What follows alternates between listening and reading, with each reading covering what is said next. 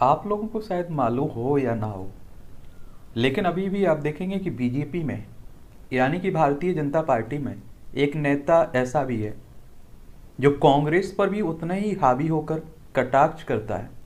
उतने ही आप देखेंगे, समय समय आने पर बीजेपी पर भी कटाक्ष करता है।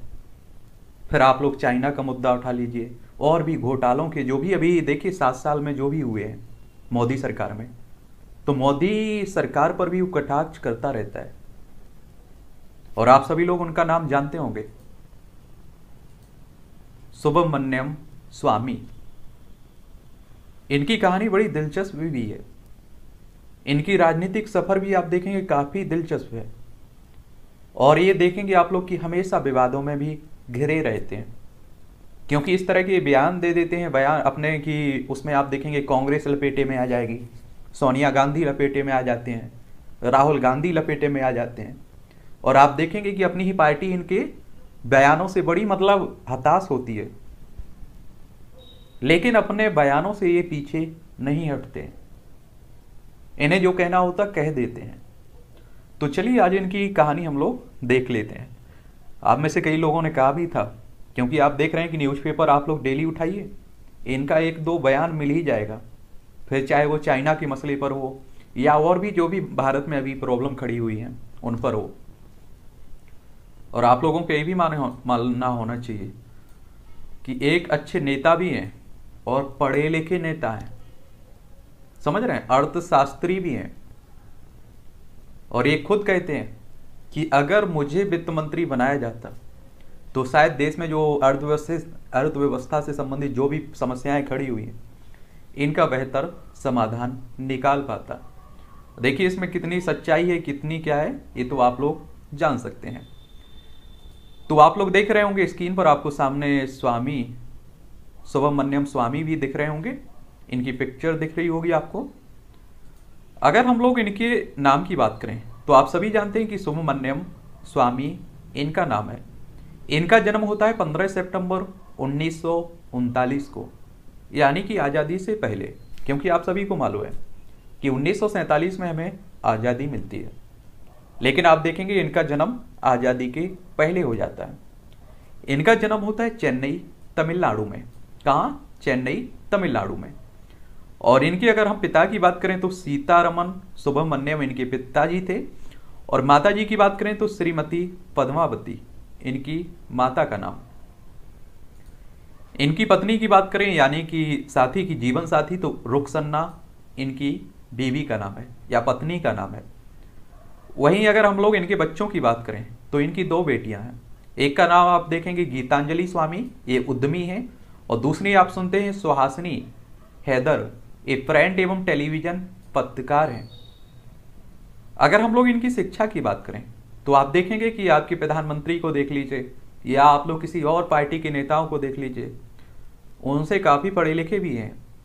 इनमें आप देखेंगे अगर हम लोग कॉलेज की बात करें तो भारतीय सांख्यिकी संस्थान कोलकाता भारत से और दिल्ली विश्वविद्यालय से भी इन्होंने पढ़ाई की हुई है।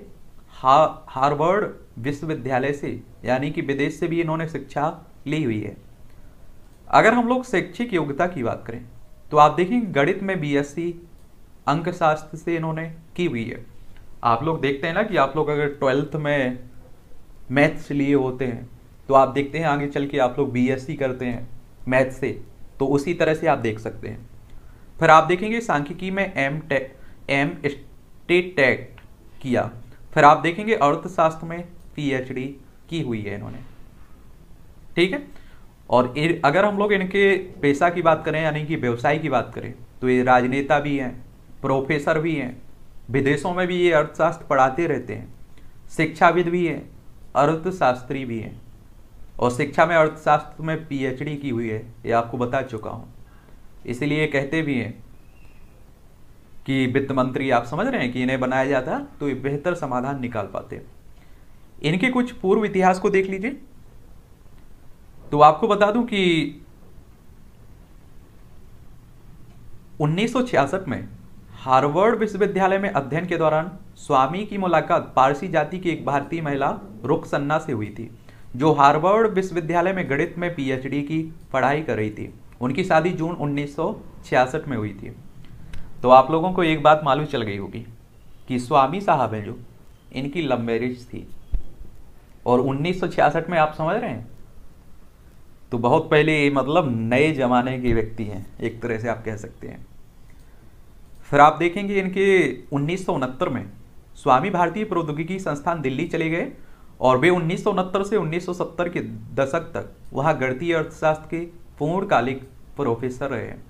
यानी कि उन्नीस से 1970 के बीच ये प्रोफेसर रहे हैं। प्रोफेसर का मतलब एक तरह से आप लोग शिक्षक के रूप में निकाल सकते हैं। जिसे आप लोग निचली क्लासों में शिक्षक कहते हैं ना, उसे ही आगे आप देखेंगे बीएससी एमएससी इस तरह की जो भी क्लासें लेता है उसे प्रोफेसर कह देते हैं। ठीक है? फिर आप देखेंगे कि 1977-80 में उन्होंने आईआईटी दिल्ली के बोर्ड ऑफ़ गवर्नर्स में काम भी किया है। ये 1977 से 80 के बीच की बात है। फिर आप देखेंगे 1980 बयासी में उन्होंने आईआईटी परिषद के बोर्ड ऑफ़ गवर्नर्स में भी काम किया हुआ है।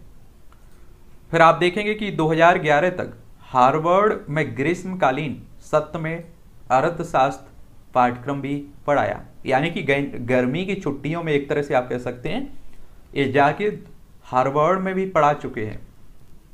इकोनॉमी पढ़ा चुके हैं। तो आप देखिए कि अपना टाइम कितना एक तरह से यूज़ करते हैं कि यहाँ छुट्टी हो रही है तो दूसरी जगह चले जाते हैं। आप देखते हैं कि दो महीने की गर्मियों को छुट्टी मिलती है दो तीन महीने की। उसी समय की बात करें। अगर हम लोग राजनीतिक यात्रा की बात करें, इनके राजनीतिक सफ़र की बात करें तो आप सभी को मालूम है कि 1975 से 77 के बीच राष्ट्रीय आपातकाल लगाया गया था। ये किसके समय की बात है? इंदिरा गांधी के समय की बात है। और आप देखिए इंदिरा गांधी के कितने अच्छे अच्छे काम रहे हैं। लेकिन आपने देखा है कि इसने राष्ट्रीय राष्ट्रीय आपातकाल ने उनके नाम पर एक तरह से उनके नाम को धूमिल किया हुआ है। और उन्होंने इस गलती को स्वीकारा भी था। तब जाकर उन्हें दोबारा जीत मिली थी। और आप सभी ने यह भी सुना होगा कि राष्ट्रीय आपातकाल के बाद जो चुनाव हुए थे, उसमें इंदिरा गांधी खुद चुनाव हार गई थी। वह आपातकाल के दौरान जनता दल के संस्थापक सदस्यों में से एक थे, जो आपने देखा होगा कि जनता दल कांग्रेस का विकल्प बनकर उभर रही थी। ये बीजेपी आप देखते हैं, उसी से निकली हुई है। ये आप लालू यादव देख लीजिए, नीतीश कुमार देख लीजिए, अटल बिहारी वाजपेयी देख लीजिए, उसी समय के हैं उन्नीस सौ चौहत्तर से वर्ष 1999 तक स्वामी को पाँच बार संसद सदस्य के लिए चुना गया। लोकसभा सदस्य की बात कर रहे हैं। उन्नीस सौ चौहत्तर से उन्नीस सौ निन्यानबे तक। तो आप समझ सकते हैं कि जनता के बीच भी इनका काफ़ी इनकी पकड़ है। पॉपुलर है, ठीक है? फिर आप देखेंगे कि 1990 इक्यानवे तक स्वामी ने भारत की योजना आयोग के सदस्य और वाणिज्य और कानून मंत्री के रूप में भी काम किया है। आप सभी लोगों ने देखा होगा कि 2015 में 1 जनवरी 2015 को नीति आयोग, चुन, आपका योजना आयोग की जगह आ चुका है। अब आप देखते हैं कि योजना आयोग खत्म हो चुका है एक तरह से। योजना आयोग को प्रतिस्थापित करके नीति आयोग आ चुका है। फिर आप देखेंगे कि सन 2013 में तक जनता पार्टी के अध्यक्ष के रूप में सेवा करने के बाद वह आधिकारिक तौर पर भारतीय जनता पार्टी में शामिल हो गए, जब राजनाथ सिंह पार्टी के अध्यक्ष हुए थे। जब राजनाथ सिंह पार्टी अध्यक्ष का जो पद था, भारतीय जनता पार्टी का, उसे जब संभाल रहे थे, उसी समय स्वामी साहब भारतीय जनता पार्टी में शामिल होते हैं, बीजेपी में शामिल होते हैं। और आप देखेंगे 2016 में उन्हें भारत के राष्ट्रपति द्वारा राज्यसभा का सदस्य नियुक्त किया गया था। आप सभी जानते हैं, जो राज्यसभा सदस्य होते हैं उनका चुनाव आप देखते हैं कि राज्यों में जो आपके विधान, विधायक होते हैं ना, वही करते हैं। लेकिन आप सभी ये भी जानते हैं कि राज्यसभा के बारह सदस्यों को राष्ट्रपति मनोनीत करते हैं। तो इन्हें भी 2016 में मनोनीत किया था। और आप देखते हैं कि छह साल का कार्यकाल होता है राज्यसभा का। आगे क्या होता है, ये तो आने वाले समय में मालूम चलेगा कि दोबारा ये चुने जाते हैं, क्या होता है? ये देखिएगा। अब बात आती है इनके विवादों से, क्योंकि इनके विवाद काफ़ी कुछ हैं। विवाद में आप देखेंगे तो स्वामी विवादों में तब आए, जब उन्होंने आरबीआई की पूर्व गवर्नर रघुराम राजन को हटाने की मांग की और कहा कि वह मन से भारतीय नहीं है। उसके बाद आपने देखा है कि इन्होंने अपना इस्तीफा भी दे दिया था, निकल भी गए। और रघुराम राजन भी एक अच्छे अर्थशास्त्री हैं, आप सभी जानते हैं। एक बार उन्होंने वित्त मंत्री अरुण जेटली के परिधान पर विवादित टिप्पणी करते हुए कहा कि उन्हें भारतीय परिधान को पहनना चाहिए। वह कोट और टाई में बेटर लगते हैं। तो आपको बताया ना कि ना तो ये बीजेपी के नेताओं को छोड़ते हैं, भारतीय जनता पार्टी के नेताओं को मतलब रगड़ देते हैं। एक तरह से उन पर भी कटाक्ष करते हैं और एक कांग्रेस के नेताओं पर भी कटाक्ष करते हैं। तो वित्त मंत्री आप सभी जानते हैं जो अरुण जेटली थे अब तो हमारे बीच नहीं रहे हैं। तो ये भारतीय जनता पार्टी से जुड़े हुए थे। तो इन पर भी आप देखते हैं कटाक्ष किया उन्होंने। पर आप सभी जानते हैं कि सोनिया गांधी और राहुल गांधी को तो ये छोड़ते ही नहीं है।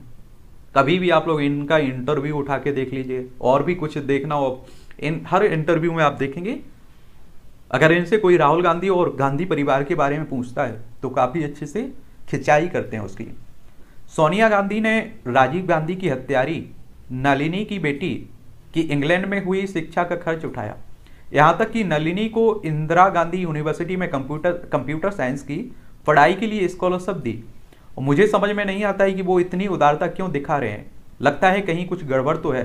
राजीव गांधी की हत्या से सबसे ज़्यादा फ़ायदा सोनिया गांधी को हुआ था। एक कौन कहता है? स्वामी साहब। ठीक है? सुब्रमण्यम स्वामी कहते हैं। तो इससे भी काफ़ी विवाद उठता है। फिर आप देखते हैं कि ये ये भी कहते हैं, मैं कभी सावरकर से जुड़े कार्यक्रमों में भाग नहीं, मैं नहीं जाता, क्योंकि वे बुद्धू थे। सावरकर की नासमझी के कारण जवाहरलाल नेहरू को सबसे ज़्यादा फ़ायदा हुआ, जो एकदम एंटी हिंदू थे। और आप सभी जानते हैं कि जो बीजेपी है, वो सावरकर की विचारधारा की बात करती रहती है। और उसका झुकाव सावरकर की विचारधारा की ओर दिखाई देता है।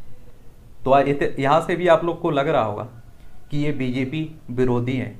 सुब्रमण्यम स्वामी की बात करें। तो ये भी इनका विवाद है। एक काले धन के मामले में मैंने मैंने प्रधानमंत्री नरेंद्र मोदी को कई बार उपाय बताए, वो राशि कैसे भारत आएगी? लेकिन पत्र, वित्त मंत्रालय पहुँचते ही मेरा पत्र रद्दी में डाल दिया गया। इसकी वजह मंत्रालय में मौजूद वित्त मंत्री अरुण जेटली का घमंडी होना है। ये अरुण जेटली जब वित्त मंत्री थे, तब की बात है। तब इन्होंने इस तरह का बयान बयान दिया था। ठीक है? फिर ये ये भी कहते हैं कि सरकारी क्षेत्र में एनपीए के सबसे बड़े कलाकार गौतम आडानी हैं। ये वक्त उन्हें जवाबदेह बनाने का है। अगर ऐसा नहीं हुआ तो मैं अडानी के खिलाफ जनहित याचिका दायर करूँगा। और कई ऐसी चीज़ें हैं जिन्हें, जिनसे अडानी दूर भाग रहे हैं। कोई उनसे सवाल भी नहीं पूछ रहा है। अडानी अपने सरकार के करीबी होने की छवि बना रहे हैं। वो सरकार के लिए शर्मिंदगी के का कारण बन सकते हैं। तो यहाँ भी आप देखेंगे कि अडानी पर तो एक तरह से इनका कटाक्ष है ही। साथ में ही प्रश्न चिन्ह कहाँ खड़ा कर रहे हैं? बीजेपी पार्टी पर भी खड़ा कर रहे हैं। तो ये भी इनका बयान है। लेनिन एक आतंकवादी था, लेकिन लेनिन तो विदेशी है। एक प्रकार से आतंकवादी है। ऐसे व्यक्ति ही हमारे देश में में मूर्ति, उस मूर्ति को कम्युनिस्ट पार्टी के हेडक्वार्टर के अंदर रख सकते हैं और पूजा कर सकते हैं। तो ये भी बयान बयान उन्होंने दिया हुआ था। फिर आप लोगों ने देखा है कि महबूबा ने, ये महबूबा आप देखते थे कि जो जम्मू कश्मीर हुआ करता था ना पहले, अब तो आप जानते हैं दो भागों में बढ़ चुका है। एक लद्दाख बन चुका है केंद्र शासित प्रदेश। एक आपका जम्मू कश्मीर बन चुका है। तो यहाँ की पहले मुख्यमंत्री हुआ करती थी, महबूबा मुफ्ती। और आप सभी जानते हैं कि बीजेपी ने उनसे एक तरह से गठबंधन करके उन्हें मुख्यमंत्री बनाया था। महबूबा ने आतंकवादियों के आगे सरेंडर कर दिया और उन्होंने मेजर आदित्य पर एफआईआर कर गलत किया। ये बात अब सुप्रीम कोर्ट ने भी कह दी है। एफआईआर करने से पहले महबूबा मुफ्ती को armed forces special power act के रूल सात को पढ़ लेना चाहिए था। इसकी एक लंबी प्रक्रिया है, इसके लिए उन्हें केंद्र से अनुमति लेनी चाहिए थी और रक्षा मंत्री को भी आसपा एक्ट को पढ़ लेना चाहिए था, नहीं तो लॉ मिलिट्री से सलाह लेनी चाहिए थी। ये भी किसका बयान था? स्वामी साहब का सुब्रमण्यम स्वामी साहब का, ठीक है? फिर आपने देखा है कि इन्होंने, बीजेपी ने अपना जो इनके साथ अलायंस था, यानी कि इनका गठबंधन था, उसे तोड़ दिया था। फिर आपने देखा राष्ट्रपति शासन लगा माफ़ करिए, राज्यपाल वहाँ शासन लगता था। फिर आपने देखा है कि दो भागों में बांट दिया गया 370 हटा दी गई। ये सभी विक्रिया पर हम लोगों ने विस्तार से बात की हुई है। एक बार और उनका बयान सुन लीजिए। प्रणव रॉय विदेश भाग सकते हैं। लिहाजा सरकार को उनके खिलाफ लुक आउट नोटिस जारी करनी चाहिए। मैं पीएम को एक पत्र लिखकर ईडी और आईटीडी को कहना चाहूँगा कि प्रणव रॉय के खिलाफ लुक आउट नोटिस जारी की जाए। वह दक्षिण अफ्रीका के कैप्टाउन भाग सकते हैं। तो ये भी आप देखिए कि बीजेपी के समय की बात की जा रही है। और इन्होंने आप देखेंगे पीएनबी घोटा, महाघोटाला भी हुआ था। इस पर सिर्फ़ अरुण जेटली ही नहीं, बल्कि पूरा वित्त मंत्रालय चुप है। रिज़र्व बैंक के बोर्ड में बैठने वाले बैंकिंग सेक्रेटरी भी चुप है। तो यहाँ भी इन्होंने उंगली खड़ी की हुई थी और कटाक्ष किया हुआ था। ये भी आप देखेंगे बीजेपी के समय काल में जब प्रधानमंत्री मोदी के समय काल में ही हुआ। जब श्रीदेवी का पार्थिव शरीर मुंबई पहुँचा तो मुंबई पुलिस ने श्रीदेवी का पोस्टमार्टम करने से क्यों मना कर दिया? वो शराब नहीं बियर पीती थी। उनकी हत्या हुई है। आपने देखा है कि उनकी एक तरह से आपने देखा है कि श्रीदेवी का, की डेथ हुई थी। और इसमें आप देखेंगे कि सुना था कि वो मतलब कुछ हार्ट अटैक इस तरह की कोई प्रॉब्लम से उनकी, लेकिन इनका मानना था कि उनकी हत्या की गई है। ठीक है? तो ये भी बयान दिया। मैं मोदी के खिलाफ कभी नहीं बोलता हूँ। वो मेरे दोस्त हैं। मैं जो कहता हूँ उसे पार्टी पार्टी चार पाँच महीने बाद लागू करती थी। करती है। मैं पार्टी के हित में बोलता हूँ। गुजरात में बहुमत आया।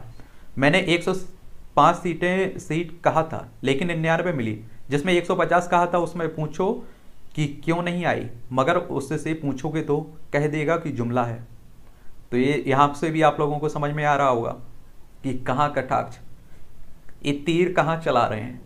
और लग कहाँ रहा है? यहाँ से भी आप लोगों को काफ़ी कुछ मालूम चलेगा। फिर आप देखेंगे, वेस्टर्न कपड़े विदेशियों द्वारा थोपी गई चीज़ों का ही एक हिस्सा है। वेस्टर्न कपड़े भारतीय मौसम के अनुकूल नहीं है। वेस्टर्न ड्रेस विदेशों द्वारा थोपी गई है और बीजेपी को यह पार्टी अनुशासन के तौर पर लागू करना चाहिए कि पार्टी के सभी मंत्री भारतीय मौसम के अनुकूल कपड़े पहने। तो ये आप लोगों को समझ में आ रहा होगा कि एक उनकी ही पार्टी का एक तरह से कोई सदस्य बीजेपी से जुड़ा हुआ है। तो इसका याद रखिए, इसका बहुत मतलब बीजेपी को बुरा भी लगता है और बीजेपी बड़ी हताश भी होती है। लेकिन उसके पास कोई ऑप्शन भी तो नहीं है। एक कोई पद भी तो नहीं मिला हुआ है ना, कि वो छीन लिया जाए।